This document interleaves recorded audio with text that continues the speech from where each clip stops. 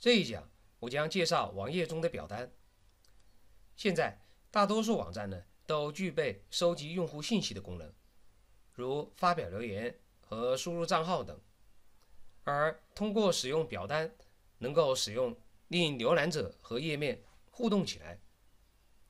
HTML5 不但增加了一些功能性的表单、表单元素和表单特性，还增加了自动验证表单的功能。正如互联网所期待的那样，一切变得不可思议了。本讲将介绍以下内容：表单的工作原理，通过表单展示不一样的页面；HTML5 表单的进化，新增表单特性及元素。一个实例：表单构成的 HTML 页面。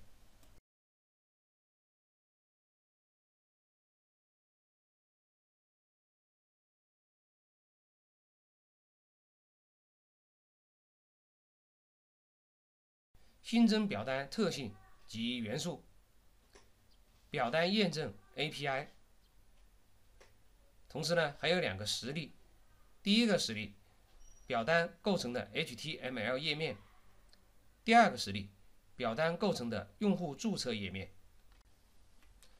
首先，我们来看一看表单的工作原理。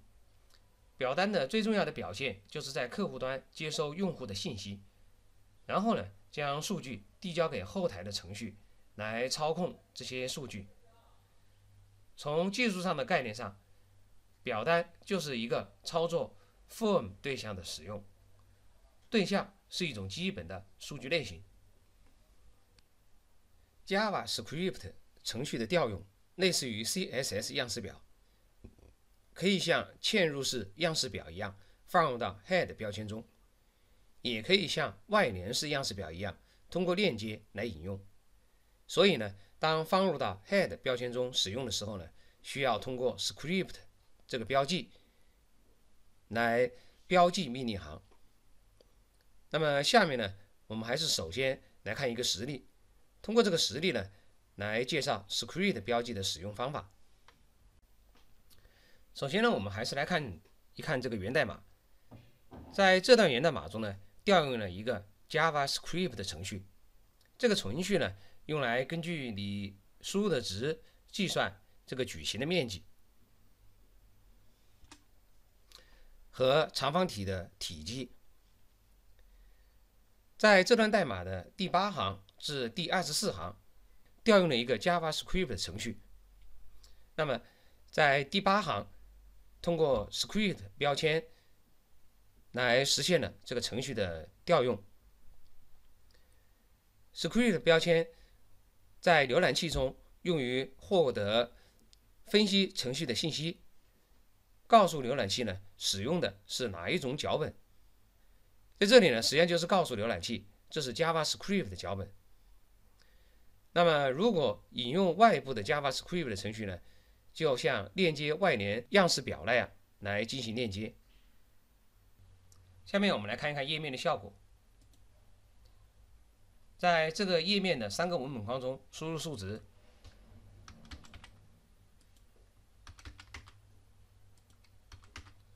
单击这里的运行按钮，我们就可以获得矩形的面积和长方体的体积。创建一个表单，看上去就像创建表格，表格的单元格、行、列都放在 Table 标签中。而创建表单的方式就像创建一个表格，使用 form 标签来创建，其中放置表单的对象如表单域、按钮和其他事物。form 标签中可扩展几个属性，它们分别是 action、method、ink type 和 target 属性。action 属性表示将数据传送到指定的 URL 地址，method 属性的值告诉浏览器通过怎样的方式来提交数据。还有 ink type 属性和 target 属性，前者呢用来表示编码的方式，后者呢用来表示目标的显示方式。action 属性通过 form 标签定义的表单，它里面必须有 action 属性，才能将表单中的数据呢提交出去。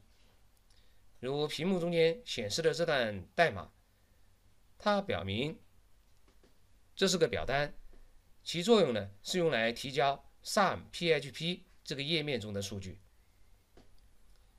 method 属性的作用呢是告诉浏览器以何种方式将数据呢提交出去。method 属性下呢可以有两个选择：post 或者是 get。在默认的情况下。数据提交方式是 get，表单域中输入的内容呢会添加到 action 指定的 URL 中。当表单提单之后，用户获得一个明确的 URL。由于这种方式下数据会添加到 URL 中，所以可利用的一个好处是可以保存在收藏夹中和他人共享。直接访问主页的 URL 可以达到。和填写注册后一样的效果。如有些时候，用户将自己已经注册过的一些网站的主页呢加入到自己的收藏夹，再次从收藏夹中打开的时候呢，会发现已经是处于登录状态了。而 POST 的这种方式，数据将以 HTTP 头的形式发送，表单数据呢不再是 URL 中的一个部分。这两种方式的区别在于，get 在安全性上较差，所有的表单域呢，它的值都是直接呈现的，而 post 呢，除了只有可见的处理脚本程序以外，别的东西都可以是收藏，所以呢，在实际的运用时呢，通常都选择 post 这种处理方式。添加 name 属性呢，是为了令递交出去的表单数据。能够被处理这些数据的程序所识别，在大部分页面中，很可能放入表单中的不止一个，那么就要通过不同的表单起不同的名字，便于程序呢来进行识别。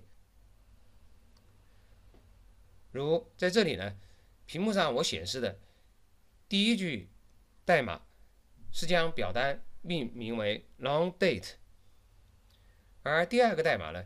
表示通过表单 long data 中获取输入的 length 项的数值。如果代码中有很多不同的表单，那么呢，通过这个 name 就可以区分它们了。int type 代表 HTML 表单数据的编码方式，它分别有多种编码方式。一般来说呢，这种编码方式是三种。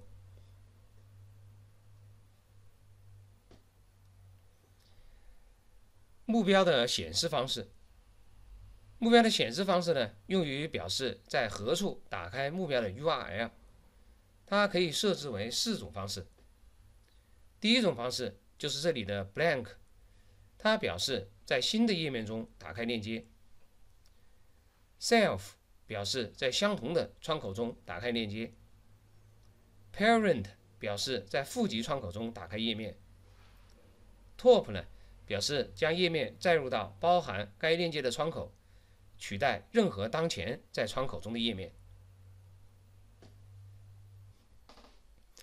表单域是用户输入数据的地方，说的形象一些呢，就相当于是用户给程序下命令或者是给指示的聊天窗口。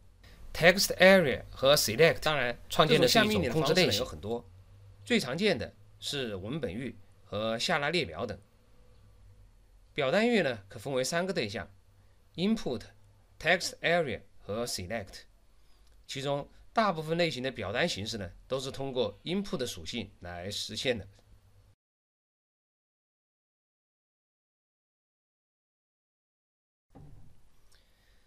表单中包含各种不同样式、不同功能的提交数据的方式，在许多页面中呢，浏览者不经意间已经在不断的使用表单的功能了。如留言、设置自己的密码，或者是使用复选框、下拉列表等等。不同功能实现呢，具有不同的作用。下面呢，我将来介绍通过表单展示不一样的页面。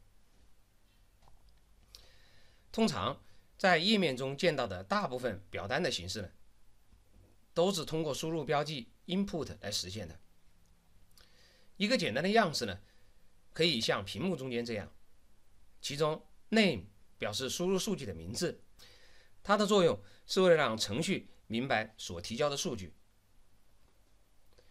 type 属性表示所定义的是哪种类型的表单，这个属性呢有多个可选值。每个类型呢都有自己的功能。size 用来表示文本框字段的长度。max length 表示可输入的最长的字符的数量。value 呢表示预先设置好的信息。刚才在介绍中我已经提到了，type 属性表示所定义的是哪种类型的表单形式。这个属性呢有九个可选值。这九个可选值呢，在这一个表中列出来了。其中，text 表示单行的文本框，password 将文本呢替换为带有星号的文本框，也就是说，表示这里输入的呢是密码。checkbox 这是一种复选框，它只能作为二选一或者是是否选择。radio 这是单选按钮。从多个选项中呢，确定一个的这种文本框。Submit 用来确定命令文本框。Hidden 设定不可被浏览用户修改的数据。Image 用图片表示的确定的符号。File 设置文件的上传。Button 用来配合客户端的脚本。下面我们来看一看 text 文本框的样式表单。text 样式下的文本框是一个单行的文本框，比较常用于登录这样的使用。下面呢，我们来看一个实例。这个实例呢，将展示 text 样式表单的应用方法。下面我们来看一看这段源代码。在这段代码中，注意第十七行和第十八行，其中 size 属性。定义了文本框的长度，而这里为两个不同的 text 的样式数据定义了名字输入的字符数。如这里呢，二十表示呢最多只能输入二十个字符。如果超过了这里设定的长度的话呢，数据将不能够被输入。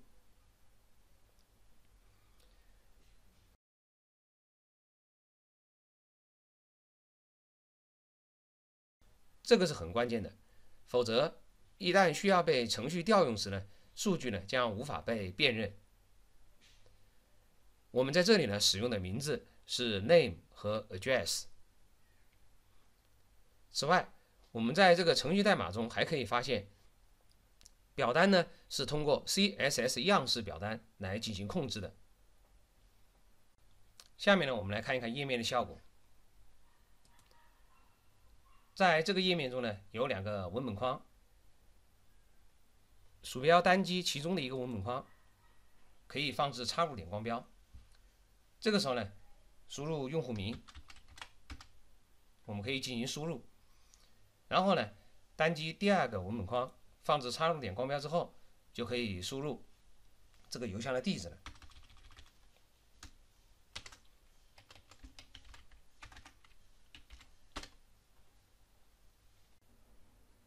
下面我来介绍 password 输入密码的样式表单。这是一个可以将文本使用保密形式展示出来的一个功能。最常见的呢，莫过于使用在密码的设置上。根据不同的浏览器呢，会使用点状的形状或者是星号来表示你输入的文字。下面呢，我们来看一个具体的实例。首先呢，我们还是来看一看源代码。这个源代码呢，与我们刚才介绍的那个实例的源代码相比呢，只是增加了一个第十九行。这个十九行呢，就是创建了一个输入密码的这个文本框。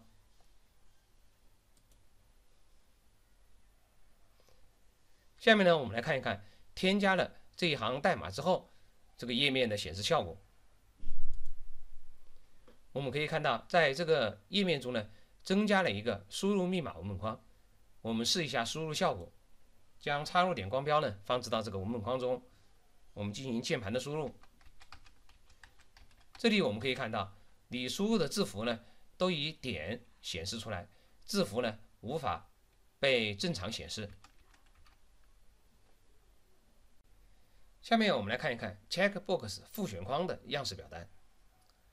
checkbox 是一个复选框的创建方式，类似于一个开关的 on 和 off 这两种选择。浏览器呢会在选择栏前面提供一个方形的小框，如果选择符合的意思，小框中呢就会添加一个小勾符号来表示它被选中了。下面呢我们还是来看一个例子，这个例子呢展示 checkbox。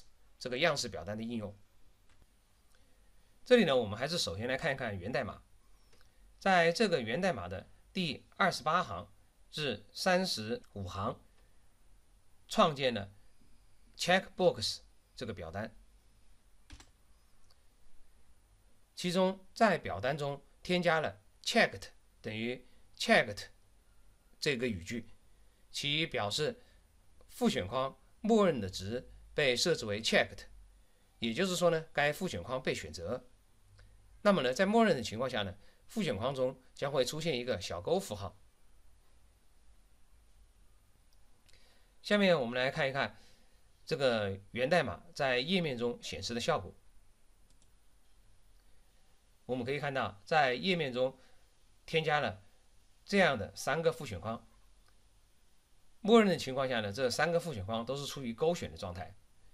单击某个复选框，可以取消对其勾选，再次单击这个复选框被选择。下面我们再来看一看 Radio 单选框样式表单。Radio 样式有点类似于选择题，在一组选择中选出唯一的一项选择，发送这列数据。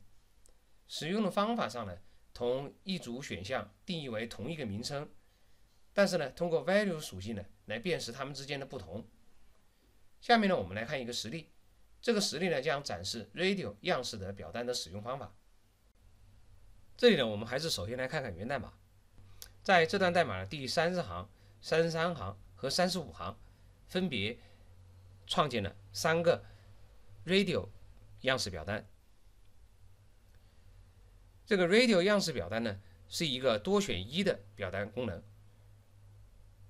同样的，在这里呢，也可以使用 checked 等于 checked 这个语句来确定预先选中的是哪一项。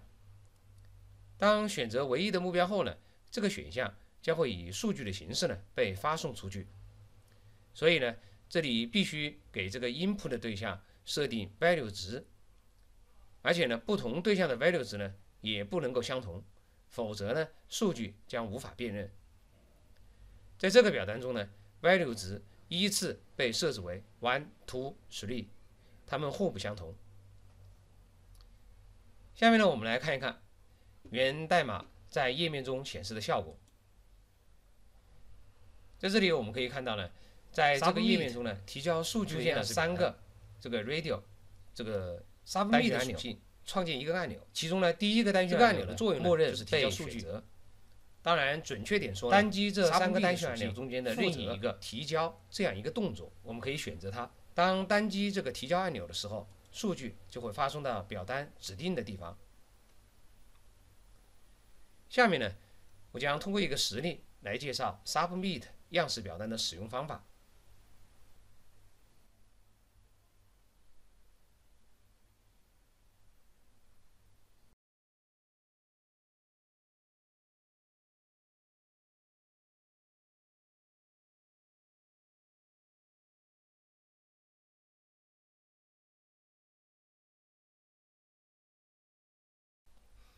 我们还是首先看一看这个源代码，在这段代码的第三十七行，创建了一个 submit 表单。在代码中呢，通过这个 submit 属性，创建一个提交表单数据的按钮。其中呢，通过 value 属性，设计者呢可以修改按钮上显示的内容。这里呢。我们将它显示的内容呢设置为“确定”这两个字。实际上呢，和 submit 属性呢相类似的还有一个 reset 属性，这是一个复位按钮。当它被单击的时候呢，表单的内容呢就会重新设置，回到页面的初始状态。这个属性的用法呢，和这里的 submit 属性的用法是完全一样的。这里呢，我就不再多重复了。下面呢，我们来看一看页面的效果。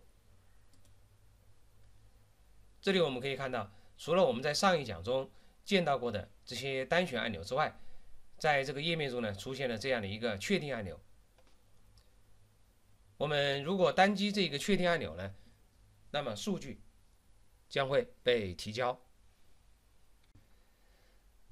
Hidden 属性可以创建一个隐藏域，数据会被隐藏起来，因此用户是无法被操作的。这样说来，似乎 Hidden 没有什么作用。事实上，正是出于安全的考虑，在多步操作数据的同时，用 Hidden 来记录页面的数据，并将它隐藏起来。这些数据呢，通常是用户并不关心，但是呢，又必须被提交的数据。比如，它可能是用户操作时候的特殊数据，用户并不在意，但必须呢将它提交。然后，当页面跳转入下一个页面的同时，页面呢已经继承了第一个页面的数据，但是用户呢是看不到的。最后，将用户提交的所有的数据一并发送至服务器。通常这种方式呢运用于动态的页面制作。当填好第一张表单的时候，处理表单的脚本程序可以动态的生成第二张表单，同时呢，其中包含第一张表单的数据。比如说，它们可以看起来像我屏幕上显示的这段代码这样。那么在页面中呢，当单击下一页这个按钮的时候，就会跳转到第二个页面。此时呢，页面会记录第一个页面中的数据。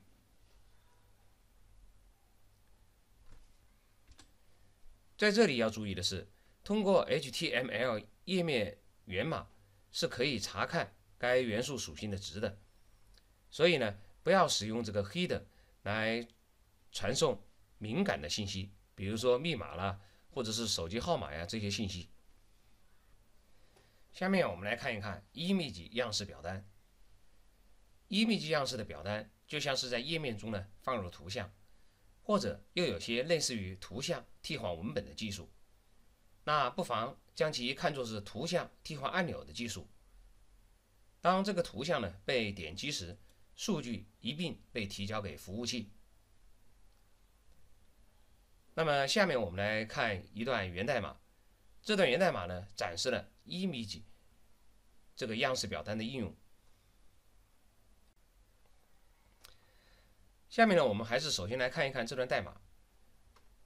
在这一段代码中呢，我们只是对前面介绍的 submit 提交数据的这个样式表单的这个源代码呢进行了一下修改。修改的地方呢，就是在这个代码的第三十七行。使用这一行语句呢，在这个页面中添加了一个图片。那么在这里呢，src 属性指定了这张图像的存放路径。l 的属性呢，用来为这个图像呢添加一个文本注释。下面我们来看一看原程序。下面我们来看一看页面的效果。那么在这个页面中呢，我们可以看到，原来。应该出现一个确定按钮的这个位置，被这个图片所替代了。当我们将这个鼠标呢放置到这个图片上的时候，我们可以看到会得到一个文本注释。那么单击这个按钮呢，数据呢将被提交。同时呢，单击的这个图像的位置的坐标呢也会被发送出去。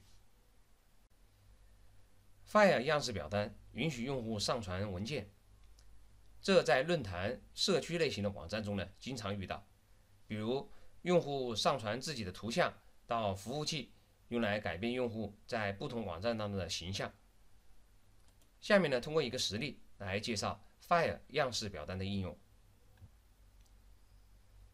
这里我们还是来看一看这个源代码。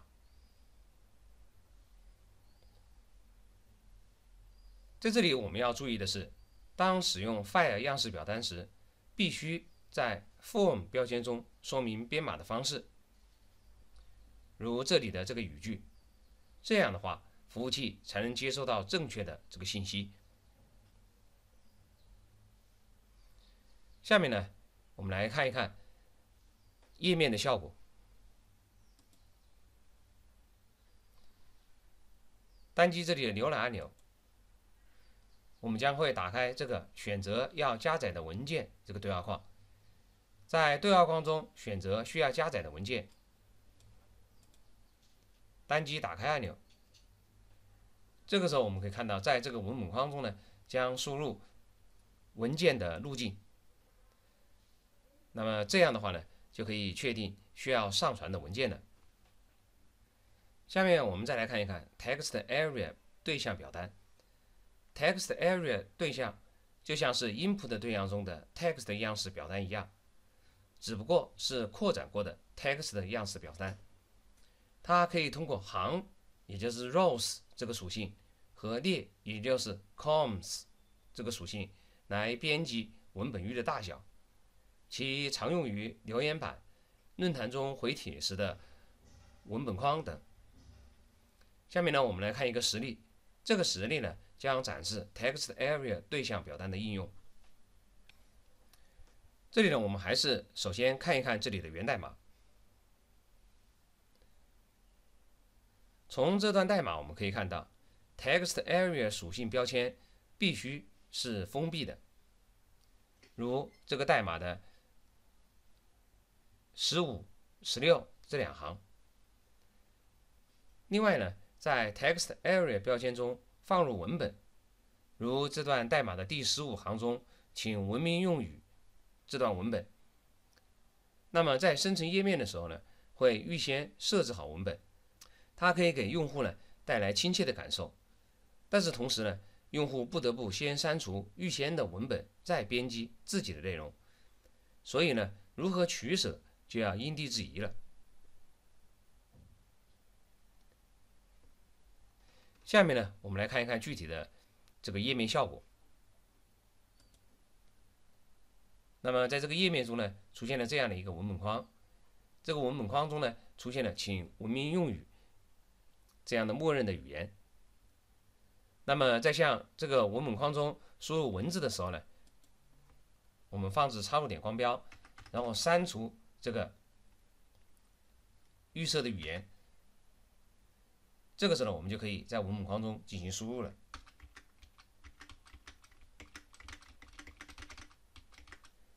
这里我们可以看到，如果在文本框中输入的内容超出了预先设置的这个行数，那么呢，这个文本框会自动的在右侧呢出现滚动条。如果没有出现这个文字超过范围的情况呢，滚动条将呈灰色状。Select 对象表单。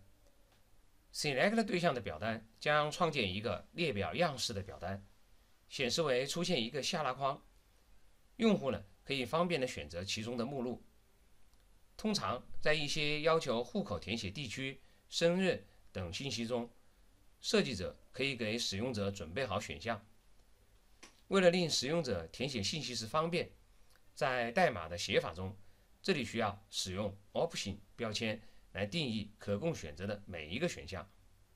下面呢，我们就来看一看具体的该如何使用 Select 对象表单。我们首先来看看源代码，这里的源代码呢，清晰的展示了 Select 这个表单该如何使用。在这里呢，我们可以看到，使用 Option 指定了不同的选项。那么在书写代码的时候呢？实际上可以使用 value 属性来为每一个 option 指定不同的值。value 设置的值呢，将取代 option 的文本的内容。下面呢，我们来看一看页面效果。在这个页面中呢，出现了一个下拉列表框，单击它，我们就可以得到这样的一个列表。在列表中我们可以选择相应的选项。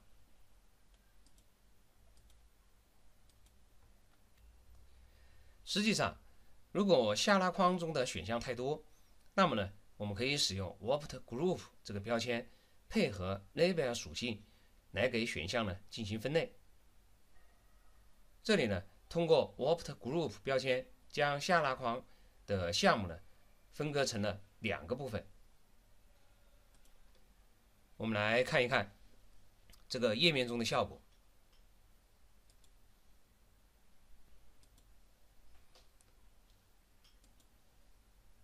我们可以看到，选项被分成了两组。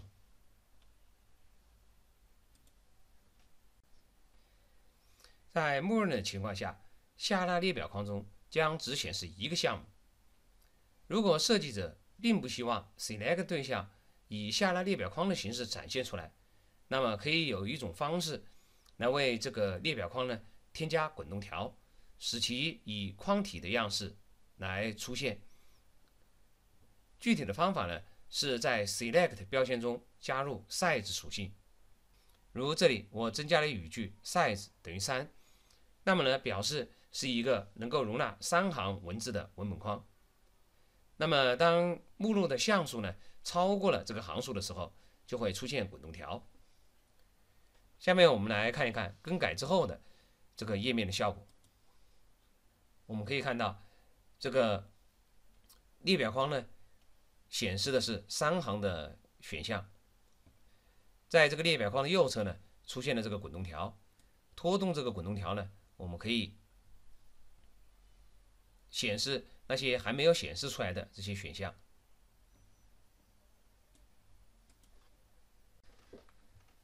下面我们来看一看表单域几何。如果一个页面中表单的项目过于繁多，设计者可以通过使用表单域将表单分组。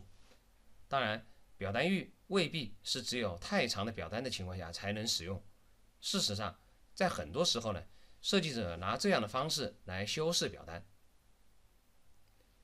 表单域的代码呢是由 field set 标签和 legend 这个标签所组合而成的。在默认情况下呢，field set 标签勾画出表单域的框形，而 legend 标签呢。它就像标题一样出现在框形的左上角。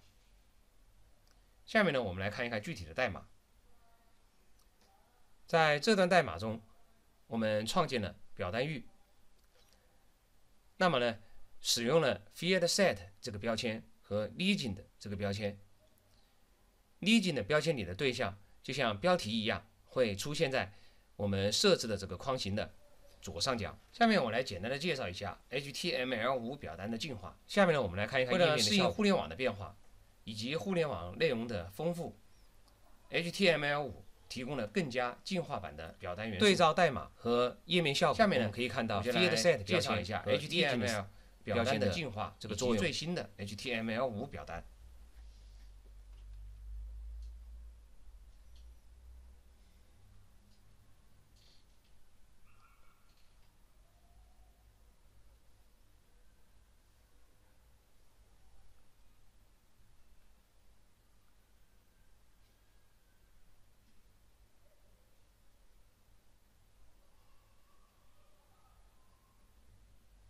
早在九十年代的 HTML4 规范中，表单功能已经发展的非常完善。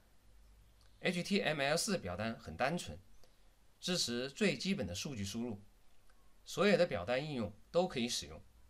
时至今日，我们仍然在使用它。随着 Web 应用的发展，表单功能太过简单，在处理复杂业务的过程中显得能力有限，而且呢还受到网络设备的限制。基于这个原因，出于以上的考虑，出现了基于 XML 的 XHTML 规范。同时呢，也出现了 Xform 这个表单。基于 HTML4 的表单呢，也停止了发展。Xforms 试图突破当前 HTML Forms 模型的一些限制，而且呢，Xforms 的最大的特点。是包含了客户端验证的功能，避免使用大量的 JavaScript 的脚本验证。这在当时，Xform 被称为是下一代的 Web 表单。由于 Xforms 是基于 XML 的，在一定程度上弱化了标签本身的功能。由于其比较灵活，表单也跟着复杂了。这在实际的使用过程中呢，并没有得到广泛的发展。在实际的表单应用中，一些特殊的数据输入是需要一个独立的规则的，如邮件和网址等。我们都会提供一个特定的格式限定和验证。由于移动互联网的快速发展，在面向移动设备的时候呢，通过识别表单类型，可以提供更友好的用户体验。HTML5 的表单在原来的表单的基础上，参照了 Xform 的一些验证功能，再结合实际发展的需要呢，制定了新型的功能性表单，并且呢。支持表单的验证，在表单处理的时候，最常用的就是表单验证了。一般的验证呢，会写很多冗长的 JavaScript 代码，或者借助一些基于 JavaScript 的验证框架。HTML5 发展的这些表单，把具有特定规则意义的表单扩展一些特有的特性，作为表单的原始功能。验证表单的功能。也作为表单本身具备的功能，原生的被支持了。HTML5 表单无论是从表现方式还是从功能方面都是非常优越的，开发起来呢可以不用那么复杂。HTML5 表单的目的就是让一切友好的应用变得简。由于 HTML5 规范还在渐进发展中，各个浏览器的支持程度呢也不一样。所以呢，在使用 HTML5 表单功能的时候，应该尽量的避免滥用，最好呢再提供替代的解决方案。根据 HTML5 的设计原则，在旧的浏览器中，新的表单空间会平滑的降级，不需要执行一些判断浏览器的支持情况。虽然 HTML5 表单的一些规范还没有获得浏览器的支持，我们仍然可以借鉴表单规范的设计思想为我们所用。如果浏览器不支持呢，我们就通过其他的方式帮助实现。通常，从属于表单的元素必须放在表单的内部，但是在 HTML5 中，可以把属于表单的元素呢放在任何的位置，然后指定元素的 form 特性值为表单的 ID，这样该元素就从属于表单了。form 特性的使用方法呢？我将通过下面一个实例来展示。首先，我们来看一看这个源代码。下面呢，我们来看一看源代码在页面中的效果。在这个页面中呢，我们在这个文本框中输入文字，然后呢，单击这个提交按钮，就可以提交你所输入的文字了。下面我们再来看看这段代码。在代码中，我们可以看到，可输入的 input 元素在表单的 form 之外。由于 input 元素的 form 特性值指定了表单的 ID，说明该元素从属于表单。那么呢，就可以实现我们刚才提到的功能了。下面我们来看一看 form action 特性。每个表单都会通过 Action 特性把表单内容提交到另一个页面。在 HTML5 中，为了不同的提交按钮分别添加 Form Action 特性，该特性呢会覆盖表单的 Action 特性，将表单提交至不同的页面。下面我们通过一个实例来展示 Form Action 特性的使用方法。在这里我们可以看到，页面中添加了四个提交按钮，其中前三个提交按钮呢，我们在代码中设置了 Form Action 特性。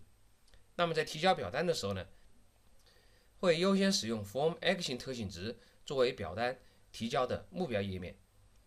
目前，Form Action 特性已经获得了多个主流浏览器的支持。Form Method、Form Ink Type。form novel lead data form target 这四个特性的使用方法与 form action 的特性一致，设置在提交按钮上，可以覆盖表单的相关特性。form method 这个特性可覆盖表单的 method 特性。form inc_typed 这个特性可覆盖表单的 inc_typed 特性。form noValidData 这个特性呢，可以覆盖表单的 noValidData 这个特性。form target 特性可以覆盖表单的 target 特性。当用户还没有把焦点定位到输入文本框的时候，可以使用 placeholder 这个特性向用户提示描述性的信息。当该输入文本框获得焦点的时候呢，这个提示性的信息呢就会消失。这个特性的使用方法如屏幕上的这个语句。placeholder 特性还可用于其他输入类型的 input 元素，如 URL、email、number、search、tile 和 password 等。使用 auto focus 特性，可以在页面加载的时候呢，自动获得焦点。每个页面。只允许出现一个有 Auto Focus 特性的 Input 元素。如果出现了多个 Input 元素，这些元素都被设置了 Auto Focus 特性，那么就相当于未指定该行为。该特性的使用方法呢，如屏幕中间的语句。关于自动获取焦点的功能，也要防止滥用。如果页面加载缓慢，用户。有做了一部分操作，这时如果焦点发生莫名其妙的转移，用户体验是极不友好的。实际上，在 IE 的早期版本中就已经支持了 Auto Complete 的特性。Auto Complete 的特性可以应用于 Form 元素和输入型的 Input 元素，用于表单的自动生成。Auto Complete 的特性会把输入的历史记录记录下来，当再次输入的时候呢？会把输入的历史记录显示在一个下拉列表中，以实现自动完成输入。该特性的使用方法呢，如屏幕中间的语句。Auto Complete 特性呢有三个值，可以指定为 On、Off 和空，也就是不指定。在不指定值的时候呢，使用浏览器的默认设置。由于不同浏览器的默认设置值不同。当需要使用自动完成的功能的时候，最好显示的指定该特性。通过组合使用 list 的特性和 data list 的元素，可以为某个可输入的 input 的元素呢定义一个选值列表。使用 data list 元素构造选值列表，设置 input 元素的 list 特性值为 data list 元素的 id 值，可实现两者的绑定。下面呢，我们来看一个实例。这个实例呢，将展示 list 特性和 data list 元素的使用方法。在这里呢，我们还是首先来看一看源代码。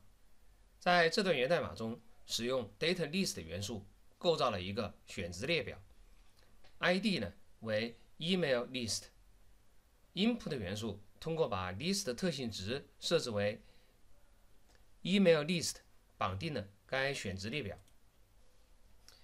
key 级元素提供了一种安全的方式来验证用户。该元素有密钥生成的功能。当提交表单时，会分别生成一个私人密钥和一个公共密钥。其中，私人密钥保存在客户端，公共密钥呢则通过网络传输至服务器。这种非对称的加密方式为网页的数据安全提供了更大的保障。下面呢，我们来看一个实例。这个实例将展示 Keygen 这个元素的使用方法。这里我们来看一看这个源代码。Keygen 元素提供了中级和高级的加密算法，显示的是一个类似于 Select 元素的下拉框，可用于选择加密的等级。最后，我们来看一看 Output 元素。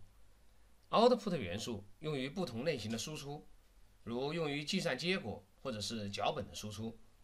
Output 元素必须从属于某个表单，也就是必须写在表单的内部。下面呢，我们通过一个小小的实例来看一看该元素的使用方法。在这里呢，由于 range 类型的 input 元素表现为一个滑块，不显示数值，这时呢，我们使用 output 元素呢来协助显示某个值。我们来看看页面的效果，在这个地方，这里呢显示出了这个 value 值五十。通过我前面的讲解，读者应该能够感受得到，表单也是可以通过 CSS 样式表来修饰的。设计者可以通过样式表来修改表单中文本的样式，像框模型那样修饰表单的布局。在这个例子中呢，将使用更多的样式表来表现一个综合的页面，来配合页面中的表单。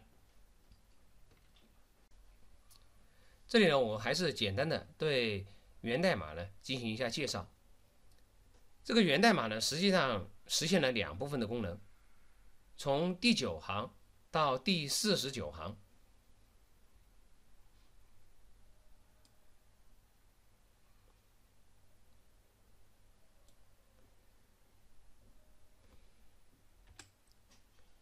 描述了如何定义表单预集合的样式，以及呢，在这个表单域页面中定义整个页面的布局。在这里呢，使用了 left side 来命名表单的样式表，是为了说明，如果设计者希望在表单的右侧呢放入其他内容。那么就可以通过定义一个 right side 层来放置其他内容。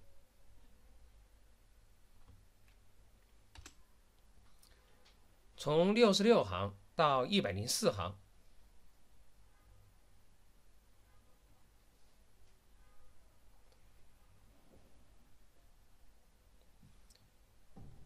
这里的代码呢，它的样式表定义了表单域是如何通过样式表。来改变它的外表的，以及当鼠标划过表单域的时候呢，将会显示出怎样的效果？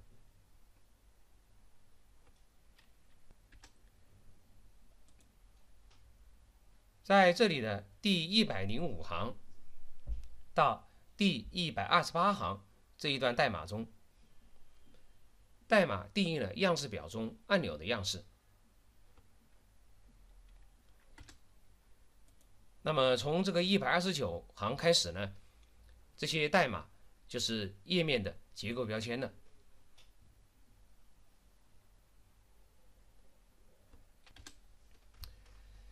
在这个页面中呢，实际上使用了二十个样式表。如果一步一步的去分析，它实际上也没有看上去那么可怕。Body、Field Set、Legend、H1 和 Label 样式表。是基于框模型的结构，定义了各自对象的字体样式。Form、井号 Container、井号 Top 和井号 Left Side 这四个样式表规划了页面的整体布局。井号 Container 样式表呢，定位了整个页面的大小，而井号 Top 呢，针对于页面的标题部分。井号 left side 样式表呢，则定义了表单部分的位置。div text box 定义了表单中文本域的样式，在这个例子中呢，可以视为表单填写文本部分的外框。而 text box 样式表呢，定义了这个对象的内框。由于对 padding 属性设置了不同的值，从而制作出了内嵌的阴影效果。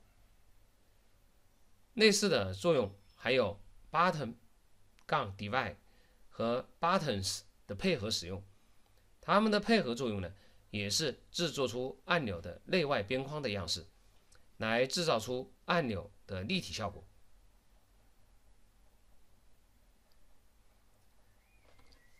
下面呢，我们来看一看这个页面，这就是代码最终生成的页面效果。